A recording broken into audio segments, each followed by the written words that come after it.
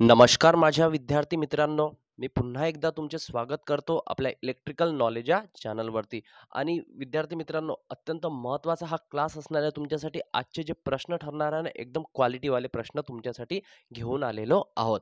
तर सर्वात आधी तुम्हाला नमस्कार. Good evening good evening all of you good evening जेवढे जण लाईव्ह येतात ना सर्वांनी आन्सर कमेंटमध्ये देण्याचा प्रयत्न करीत चला. ओके चला गुड इव्हिनिंग चला नमस्कार गुड इव्हिनिंग सत अकाल आदाब आणखी काही राहिलं का? राधे राधे हरे कृष्णा. ओके चला good evening good evening all of you चला क्लास सुरू करूया. अत्यंत महत्त्वाचा प्रश्न तुमच्यासमोर मी घेऊन येणार आहे. बघा महापारेषण आणि महावितरणमध्ये तुम्हाला माहिती आहे दोन हजार पाचशे एक्केचाळीस त्याच्यानंतर पाच हजार तीनशे सत्तेचाळीस जागा आहे. तर त्यासाठी अत्यंत महत्त्वाचं एक टॉपिक आहे ना ते म्हणजे कोणतं? ट्रान्समिशन आणि डिस्ट्रीब्युशन तर हे जे ट्रान्समिशन आणि डिस्ट्रीब्युशन जे टॉपिक आहे ना हे अत्यंत महत्त्वाचं असणार आहे. तर दोनशे प्रश्नांची जी सिरीज आहे आतापर्यंत आपले एकशे पाच प्रश्न झाले. आजच्या क्लासमध्ये सुद्धा पंधरा प्रश्न आणि आजचे तर एकदम क्वालिटीवाले प्रश्न असणार आहे. प्रश्न मराठी आणि इंग्रजी या दोन्ही भाषेमध्ये तुम्हाला पाहायला मिळा मिळणार आहे. आणि जेवढेही तुम्ही इलेक्ट्रिशियन आणि वायरमनचे विद्यार्थी आहे ना तर सर्वांसाठी हा क्लास अत्यंत उपयुक्त ठरणार आहे. आता जेही लाईव्ह येतात ना आल्याच्या लगेच एक लाईक करून देत चला चला लाईक केलं असेल आणि हा क्लास पूर्णपणे बघा. म्हणजे बघा लाईव्ह बघताना तुम्ही तर तुमचा वेळ कसा जातो तुम्हालाही समजत नाही. आणि तुमचा क्लास सुद्धा पाहून होतो आणि तुम्हाला लाईव्हमध्ये एकदम समजणं सोपी सुद्धा जाते. तर लाईव्ह येण्याचा प्रयत्न करत चला. जसं जेव्हाही मी क्लास तुम्हाला लाईव्ह टाक टाकत असतो तर तुम्ही लाईव्ह येण्याचा प्रयत्न करायचा.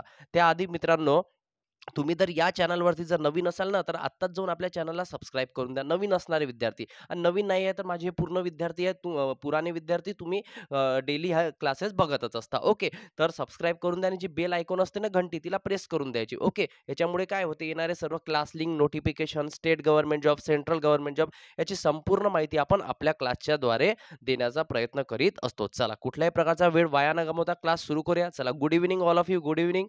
चला तर क्लास सुरू करण्याच्या आधी तुमच्यासमोर एक मोटिवेशनल कोर्स याच्यामुळे काय होते? तुमच्यामधील जी एनर्जी आहे ती तर कायम असते परंतु तुमच्यामध्ये नव्याने एनर्जी क्रिएट होते. बघा काय म्हणतोय? जीवनात आपले ध्येय कितीही दूरचे असले जीवनात आपले ध्येय कितीही दूरचे असले तरी त्याच्याकडे जायचे म्हणजे प्रथम एक पाऊल टाकूनच प्रारंभ करावा लागतो. सर्वांना माहीत आहे की ध्येय किती दूर असलो परंतु त्याच्याच कडे जर आपल्याला जायचं असेल ना तर सुरुवात तर करावं लागेल ना. प्रथम एक पाऊल पाऊल टाकूनच प्रारंभ करावा लागतो. व तसेच करीत गेले व तसेच करीत गेले म्हणजे हळूहळू आपलं आपण ध्येयाजवळ पोहोचतो. तुम्ही सातत्यानं हळूहळू हळूहळू एक एक पाऊल टाकत राहा आणि एक वेळ अशी येईल की तुम्ही बघा तुम्ही आपल्या ध्येया ध्येयाजवळ किंवा ध्येयापाशी पोहोचलेले असाल. तर सातत्यानं अभ्यास करत राहा. आईवडिलाचं स्वप्न पूर्ण करायचं आहे. समाजामध्ये प्रतिष्ठा आणायचे सातत्यानं अभ्यास करत राहायचं चला गुड इव्हिनिंग क्लास सुरू करतोय. पहिला प्रश्न तुमच्यासमोर घेऊन येतोय. त्याआधी तुम्ही जर आपल्या टेलिग्राम चॅनलवरती जॉईन नसेल झाला तर त्याची लिंक मी तुम्हाला डिस्क्रिप्शन बॉक्समध्ये देऊन देईल. तिथे जाऊन तुम्हाला टेलिग्राम चॅनलवरती जॉईन व्हायचं आहे. पहिला प्रश्न बघा काय म्हणतो? Find the number of strands of A C S R conductor for four layers transmission line बघा हे असे जे प्रश्न आहे ना हे सगळं क्वालिटीवाले प्रश्न आहे. तुम्हाला अख्ख्या युट्यूबवर शोधून नाही मिळणार. ते बी टॉपिक वाईज घेता म्हणजे सिरीज वाईज म्हणजे तुमचे दोनशे प्रश्न सिरीजना ट्रान्समिशन आणि डिस्ट्रीब्युशनवर कुठलाही प्रश्न तुमचा सुटता कामा नाही आता प्रश्न काय म्हणतोय? एकदा पेन चेंज करून घेतो कलर ओके. चला जेणेकरून प्रॉब्लेम होणार नाही ओके. काय म्हणतो?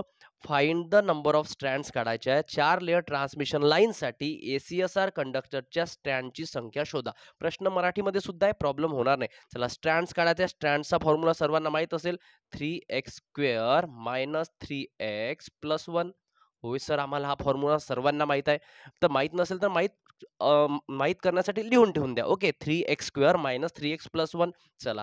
तर स्ट्रँड काढायचे आहे मग किती लेअर आहे? सर चार लेअर आहे. किती लेअर आहे? चार. मग एक्सची व्हॅल्यू काय आहे? चार. एक्सची व्हॅल्यू म्हणा किंवा यनची व्हॅल्यू म्हणा. ओके तर स्ट्रँड काढायचा आहे. S is equal to three. एक्सची value किती आहे? तर चार आहे. मग इथे चार लिहितो. Three X square minus three X. जिथे जिथे एक्स होता तिथे तिथे काय लिहितो? चार लिहितो. Plus one. Okay sir. काही हरकत नाही. मग यस इज इक्वल टू तीन गुणीला चारचा वर्ग किती? सोळा. ओके. तीन गुणीला चारचा वर्ग सोळा. मायनस तीन चोके बारा प्लस एक. ओके. हा आजचा क्लास अत्यंत महत्त्वाचा ठरणार आहे. तुम्ही आन्सर कमेंट बॉक्समध्ये देत चला. चला. तर ओके ऑप्शन काय देताय तुम्ही आन्सर? ऑप्शन ओके आन्सर तुम्ही देत चला. एस इज इक्वल मी सॉल्व्ह करण्याचा प्रयत्न करतोय. ओके सदतीस ओके व्हेरी गुड सोड त्रिक अठ्ठेचाळीस मायनस बारा अधिक एक तर किती झाले? अठ्ठेचाळीस बाय मायनस बारा छत्तीस अधिक एक किती होतो विद्यार्थी मित्रांनो? Thirty seven. तर स्ट्रँड्स किती येणार आहे? थर्टी सेवन स्ट्रँड्स येणार आहे. ओके चला. तर ज्यांनी ज्यांनी आन्सर सी दिलं त्यांचं योग्य उत्तर आहे. Okay so option C will be your right answer. Got it? चला तर एकशे सहाव्या प्रश्नाचं उत्तर काय मिळालं तुम्हाला? Option C. फॉर्म्युला सुद्धा तुम्हाला लिहून दिलेला आहे. प्रश्न क्रमांक एकशे सात बघा. बघा काय म्हणतोय? हा सुद्धा क्वालिटीवाला प्रश्न आहे.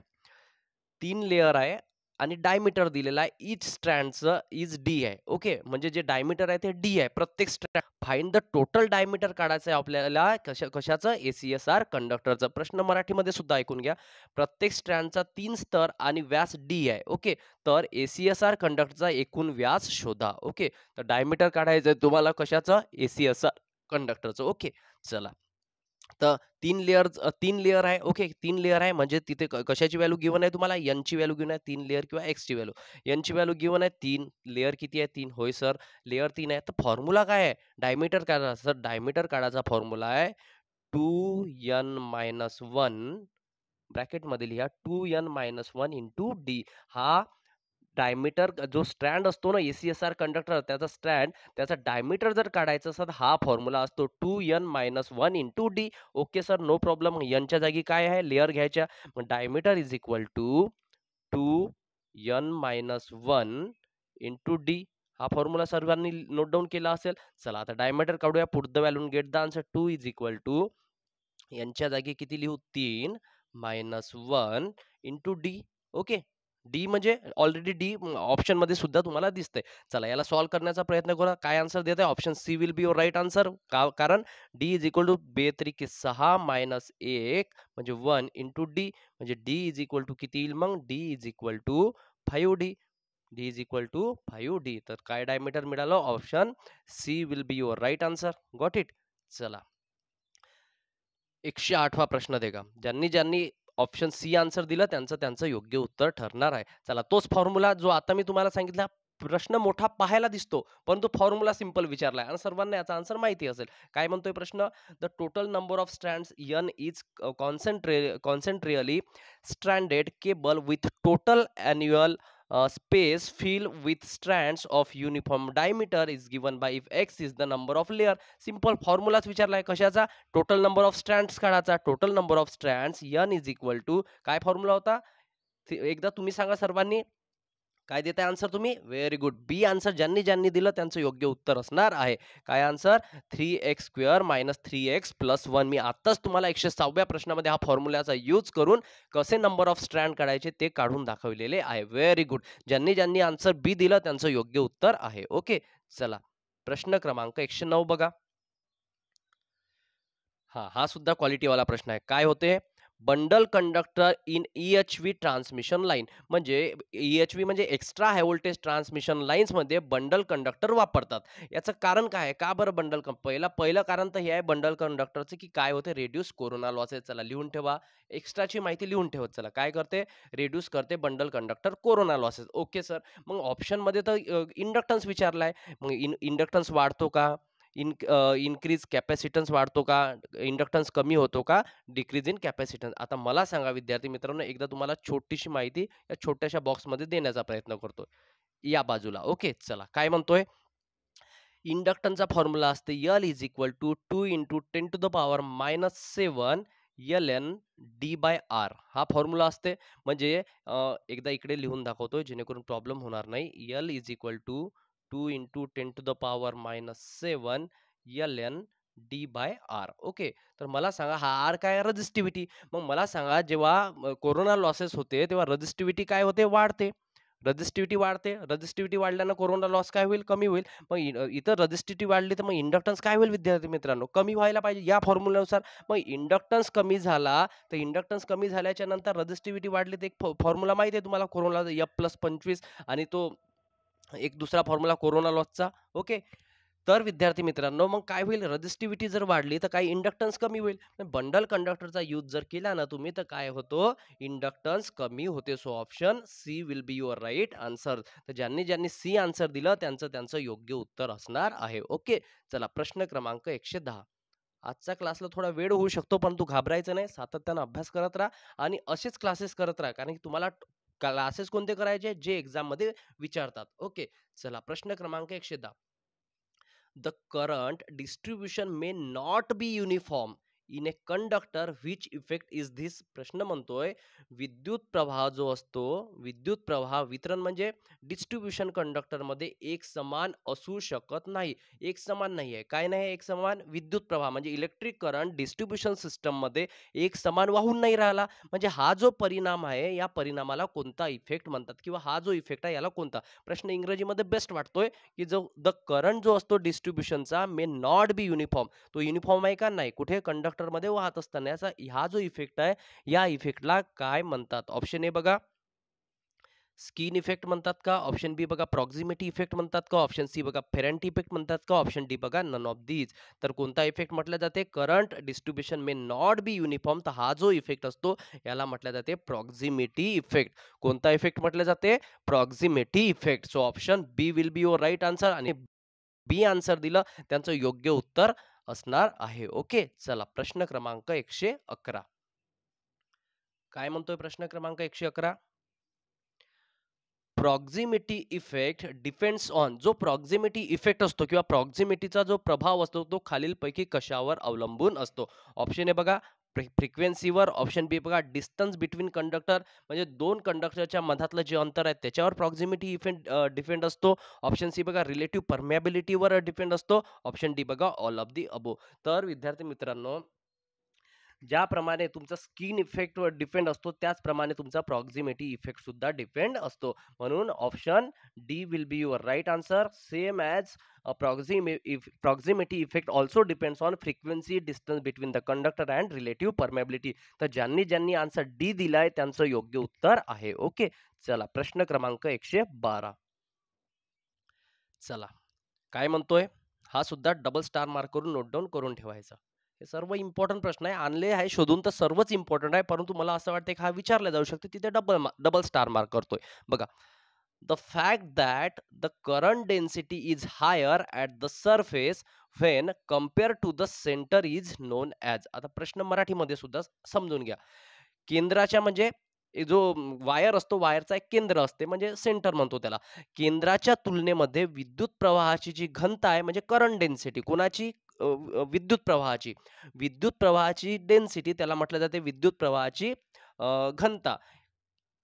केंद्राच्या तुलनेमध्ये केंद्राच्या कंपेरिझन केल्याच्यानंतर विद्युत प्रवाहाची जी घनता आहे पृष्ठभागावर जास्त असते हे तथ्य म्हणून ओळखले जाते. याला काय म्हटलं जाते? म्हणजे the fact that current density is higher on at the surface current density सरफेसवर जास्त आहे कंपॅरिझन कोणाच्या सेंटरपेक्षा याला काय म्हटलं जाते? ऑप्शन ए बघा.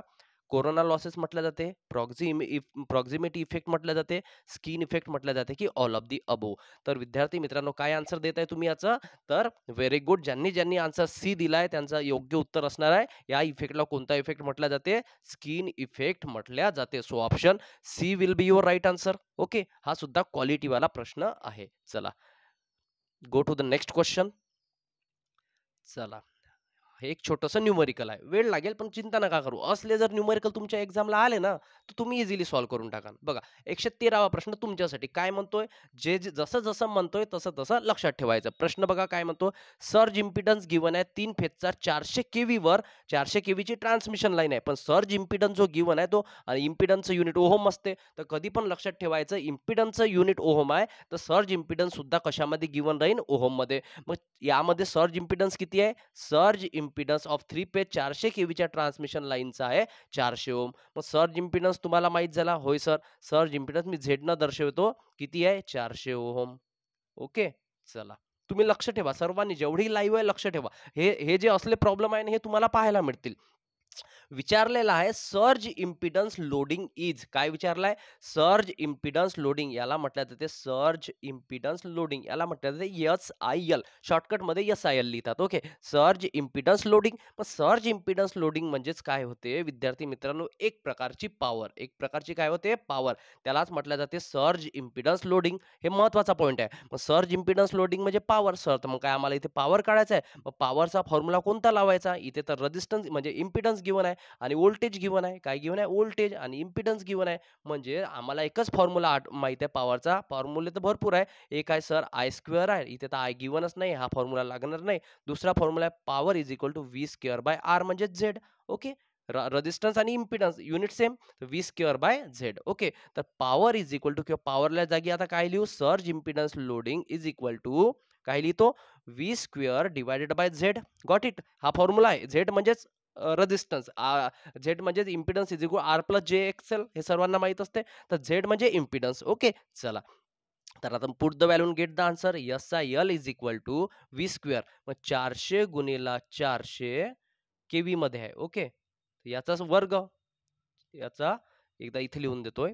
S I L is equal to चारशे गुणेला चारशे डिवायडेड बाय चारशे. ओके. आता इथे काय येईल? Ten to the power three K म्हणजे ten to the power three म्हणजे वरती काय येईल? Ten to the power six येईल. Into ten to the power six हे सुद्धा लिहून देतोय. ओके. तर मग मला सांगा खाली किती आहे? चारशे. चारशे न चारशे कॅन्सल किती वाचले? चारशे into ten to the power six. Simple आहे. व्हॅल्यू बी सुद्धा गिवन तुम्हाला अशा छोट्या छोट्याच राहतील. Surge impedance is equal to चारशे into ten to the power sorry ten to the power six हा हे तुम्हाला मिळालं.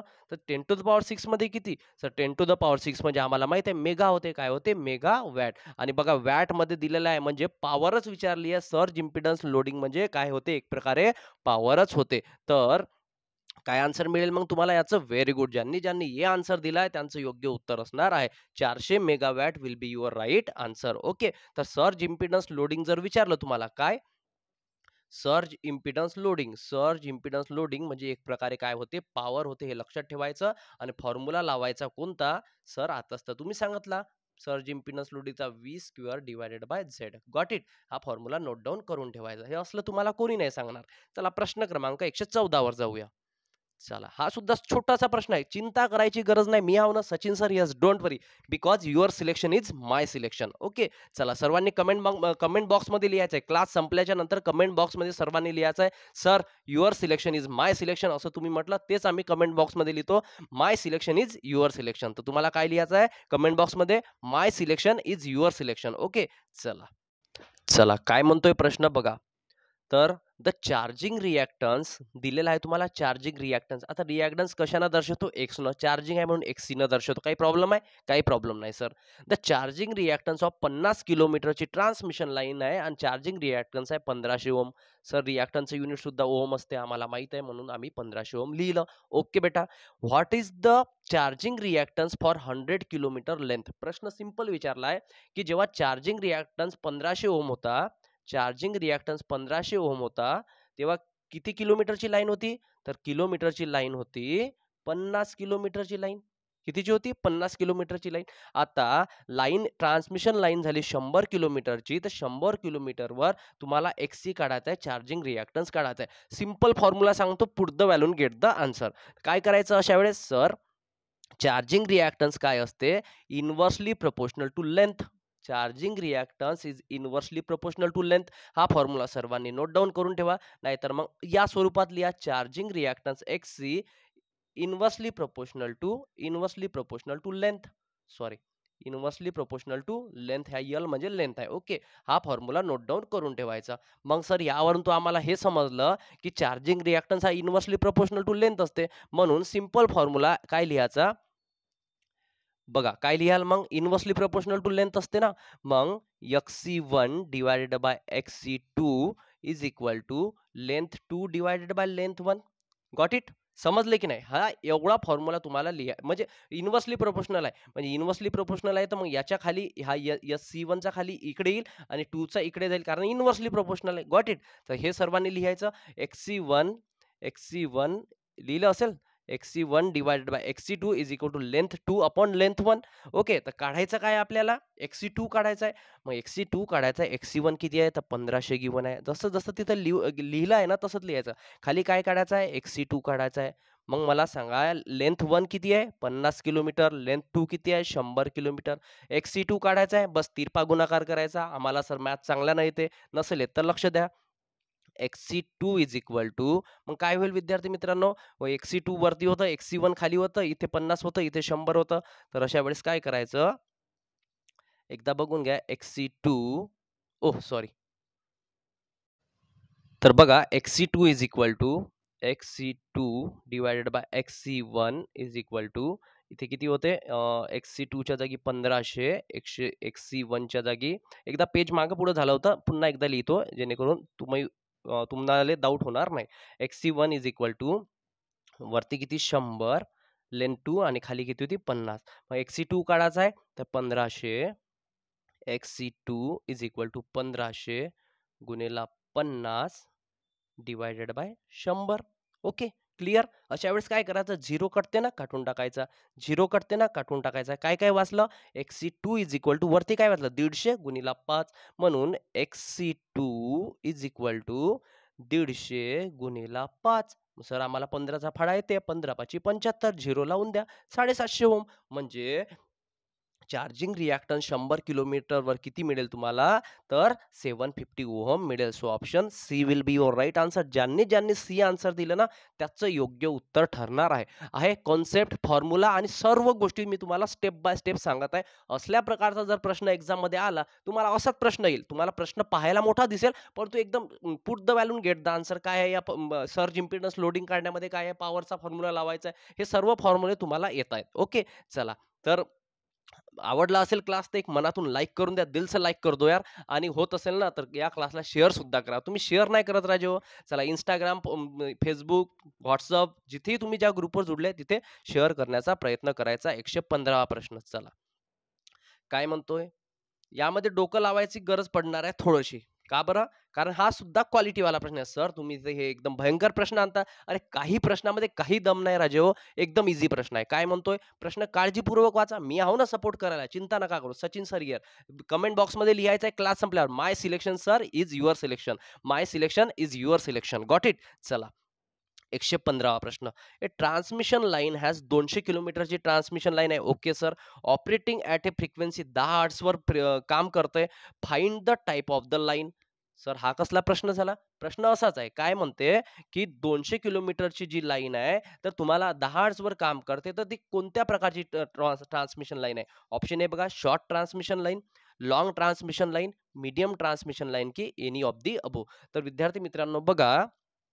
तुम्हाला जर डिस्टन्स माहीत असेल तर तुम्ही काय कराल? अरे सर हे आता एकदम इझी प्रश्न आहे. दोनशे किलोमीटर म्हणजे एवढी मोठी ट्रान्समिशन लाईन आहे. दोनशे किलोमीटर या लाईनला तर लॉंग ट्रान्समिशन लाईन म्हणते. म्हणजे एक्झामिन एक्झामिनेशनमध्ये तुम्ही असं आन्सर टिक कराल ना एक्झामिनर मग असं आन्सर टिक करेल. समजलं? का बरं? हे चूक ठरेल. का बरं? कारण सर फ्रिक्वेन्सी बी गिवन जर असेल आता काळजीपूर्वक आहे का तुम्ही. जर तुम्हाला फ्रिक्वेन्सी सुद्धा गिवन आहे दहा हर्ट्स आणि दोनशे किलोमीटर लाईन दिली आहे.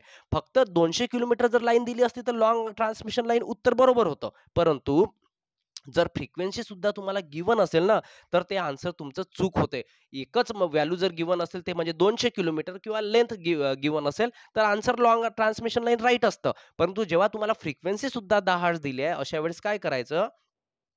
जी फ्रिक्वेन्सी आहे आणि दोनशे किलोमीटरची जी लाईन आहे याच्यावरून एकदा यांचा गुणाकारकडून व्हॅल्यू किती हे ते हे काढून टाकायची. मग सर हे गुणाकार का बरं करताय? कारण गुणाकारावरून जी व्हॅल्यू मिळते त्याच्यावरून short transmission medium transmission line की लॉंग ट्रान्समिशन लाईन आहे हे कळते मग बघा विद्यार्थी मित्रांनो मग तुम्हाला याचं काय करावं लागेल? गुणाकार. सर गुणाकार करतोय दोनशे गुणीला दहा तर दोन हजार येते. मग विद्यार्थी मित्रांनो दोन हजार आल्याच्यानंतर हे दोन हजार काय आहे? तर दोन हजार ही जी व्हॅल्यू आहे ही कशाची व्हॅल्यू असते? किलो किलोमीटर आणि फ्रिक्वेन्सीचा जो प्रॉडक्ट असते हा जर आता एक कॉन्सेप्ट सांगतो. ओके दोन हजार हे आलं ह्या प्रश्नाच्या बाहेर या आता. आले सर्वजण? होय सर बघा लक्ष द्या काळजीपूर्वक चला. या या ब्लॅकबोर्डवर या कमॉन कमॉन चला आले?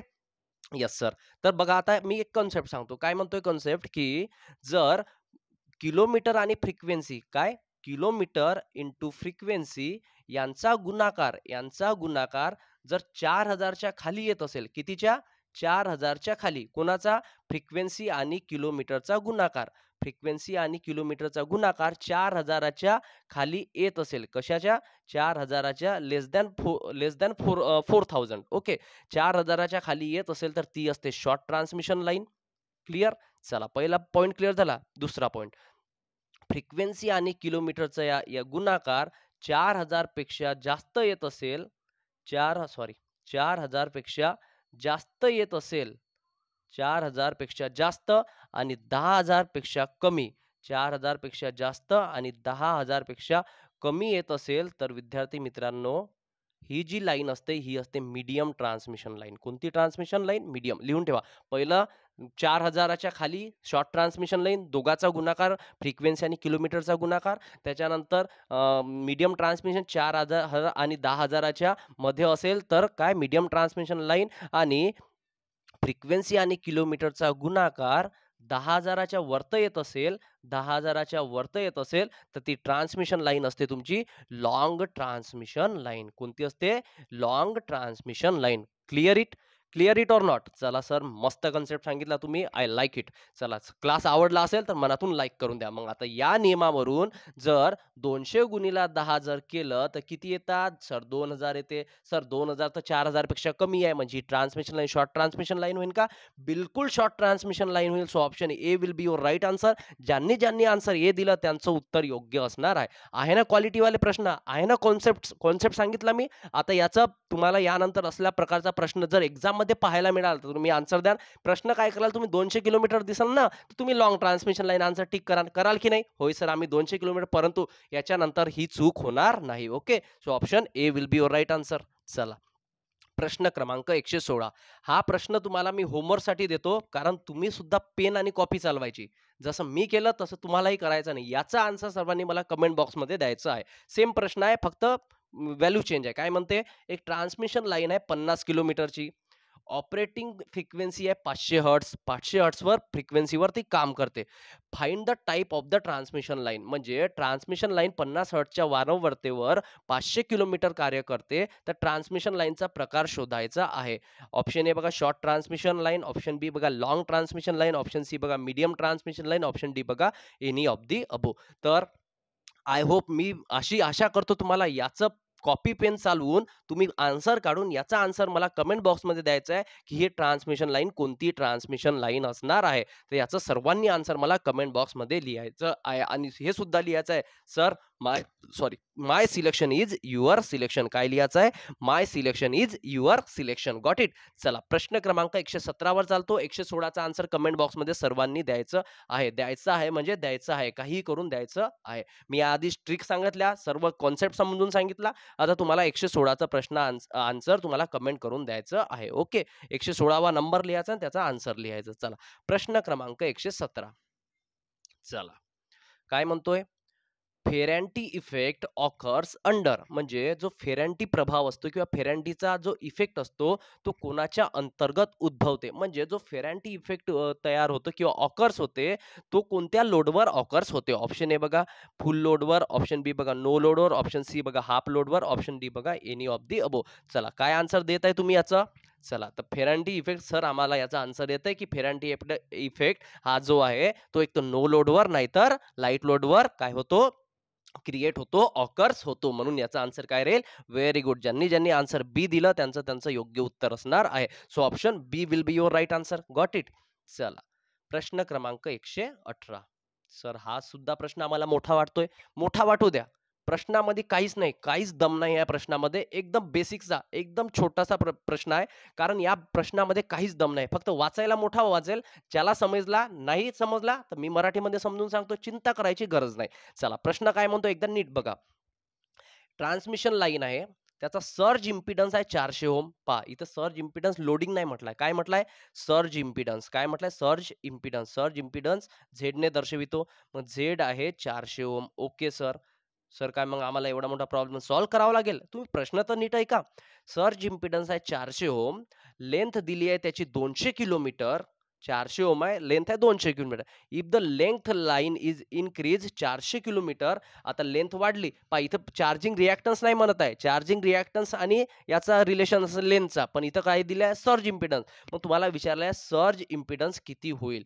बघा चारशे ओहम असतो दोनशे किलोमीटरवर. आता चारशे किलोमीटरवर किती होईल? हा प्रश्न विचारलेला आहे. ऑप्शन ए बघा चारशे ओम बी बघा आठशे ओम ऑप्शन सी बघा दोनशे ओम ऑप्शन डी बघा झिरो ओम तर विद्यार्थी मित्रांनो जर ट्रान्समिशन लाईनचा जर प्रश्न विचारला तुम्हाला कशाचा? ट्रान्समिशन लाईनचा ना तुम्हाला जर विचारत असेल की सर्ज इम्पिडन्स कसा असतो?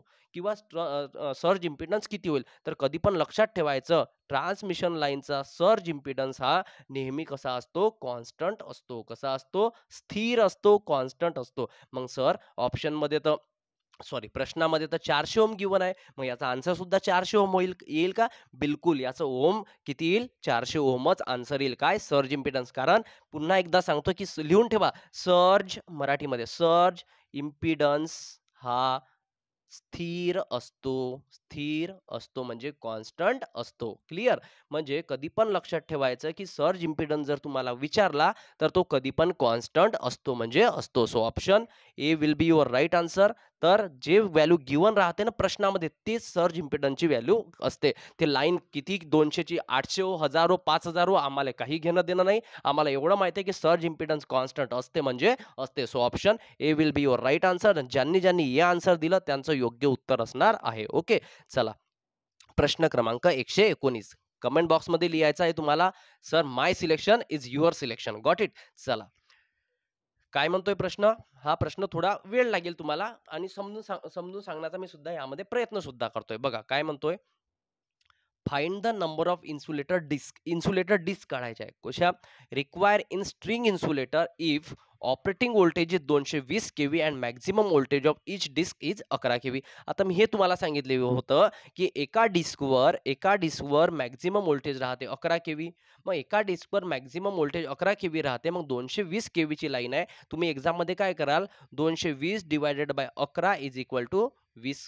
तर वीस आल्या का हे तुमचा आन्सर नाही विद्यार्थी मित्रांनो हे तुमचा आन्सर होणार नाही. कारण तुम्हाला विचारला find the number of disc परंतु जी लाईन असते ना तुमची थ्री फेजची लाईन असते. कितीची असते? थ्री फेजची लाईन असते. मग थ्री फेजची लाईन जर असेल आणि तुम्हाला इन्सुलेटर डिस्क काढायचे आहे स्ट्रिंग इन्सुलेटरच्या तर त्या कशा काढणार आहे? तर कधी पण लक्षात ठेवायचं जर तुम्हाला डिस्क काढायचे असेल तर डिस्कचा फॉर्म्युला लिहायचा विद्यार्थी मित्रांनो. जे किलो वोल्टचं वोल्टेज असते ते लिहायचं दोनशे वीस आणि डिवायडेड बाय करायचं अंडर रूट थ्री किती करायचं?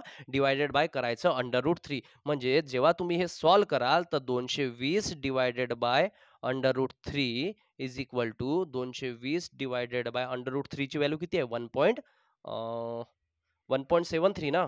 Under root three one under root two four okay one point seven three one point seven दोनशे वीस भागीला जर वन पॉईंट सेवन थ्री केले तर तुम्हाला किती मिळेल? दोनशे सत्तावीस मिळेल ओके ओके जर तुम्हाला दोनशे सत्तावीस मिळालं मग दोनशे सत्तावीस मिळाल्याच्या नंतर दोनशे सॉरी एकशे सत्तावीस मिळेल. किती मिळेल? एकशे मी दोनशे सत्तावीस. एकशे सत्तावीस मिळेल मग एकशे सत्तावीस हे आन्सर एकदम इझी इझी आहे विद्यार्थी मित्रांनो. दोनशे वीस इथं लिहायचे आणि इथे लिहायचं वन पॉईंट सेवन थ्री. किती लिहायचं? One point seven three. जेव्हा तुम्ही भाग द्याल ना इझिली भाग जातो तर किती येईल तुम्हाला? एकशे सत्तावीस. इथे आन्सर मिळणार आहे. मग एकशे सत्तावीस मिळाल्याच्या नंतर मग काय करायचं? जे अकरा के व्ही आहे ते अकरा के व्ही तुम्हाला नंबर ऑफ डिस्क इझिली मिळून जाईल. अकरा एक अकरा. किती वाचेल? एक. पुन्हा अकरा एक अकरा.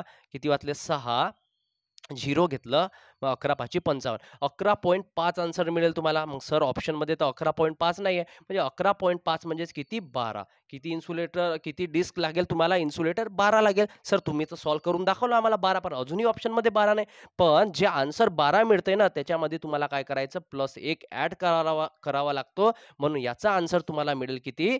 तेरा. आन्सर नंबर ऑफ डिस्क किती मिळेल? तेरा. तो हा हा सुद्धा अत्यंत महत्त्वाचा प्रश्न आहे. नंबर ऑफ डिस्क सुद्धा तुम्हाला काढायला विचारला जाऊ शकते.